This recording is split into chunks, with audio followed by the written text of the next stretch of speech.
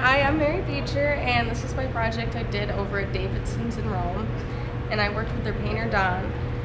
So we started off over here, and we had to tape off this area, which took a lot longer than it looks to get this paint uh, little strip going straight. So we started, we painted it black, and then we put the lace over it, and we sprayed it red. We did our candy coat to get that shine, make it look a lot prettier. And then we did a clear coat, and then once it dried, we we carefully peeled off the tape, and I had to re-tape this to keep that silver in. And then we put the lace over this, which is the hardest part to try and keep it straight because it tapers off so much in the back. And then we sprayed our blue. Once we got a few coats, I took the lace off, and then we had to clear it all over again. And then afterwards, we wet sanded to get all the fuzz out from the lace.